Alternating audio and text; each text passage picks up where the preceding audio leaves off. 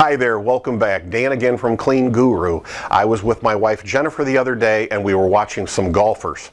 And there were three or four funny stories that came from it, uh, and I thought I would share those with you. I know I've experienced them personally myself, I do the same thing, but we were actually noticing this. Jennifer said, Why did he just do that? The gentleman just took a swing.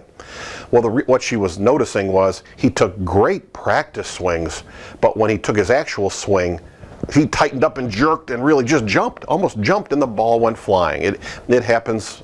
It's a uh, your average golfer is really average. I'm the same way. I'm just an average duffer, um, and these things happen because we don't stick with the steps that we know we should do.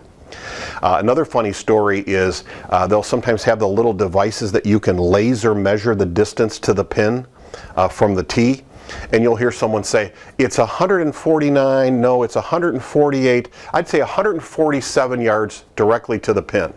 And they'll pick out the exact club and so on. And then the balls, when they really hit them, are flying all over. Right? I mean, this accuracy that they're trying to calibrate between 149 and 147 yards, that's all out the window because the biggest thing is the swing that they're doing is making it fly all over. And it's human nature you know, we want to be admired, we want to look good, we want to hit it well, we want to be proud, and, and we think just more effort will do it. Sometimes, many times, sometimes just more effort isn't the answer. It's learning better steps of doing the things that we're doing. Uh, for example, it's the same thing in cleaning, you know, whether it be marketing or prospecting or selling or managing. If we're getting results we don't like, we may have to risk learning, asking, and then learning new steps and then sticking with those new steps. I'll tell you another funny story at the end.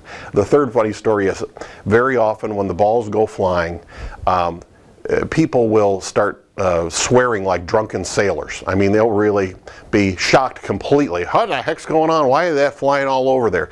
As if it's a complete shock.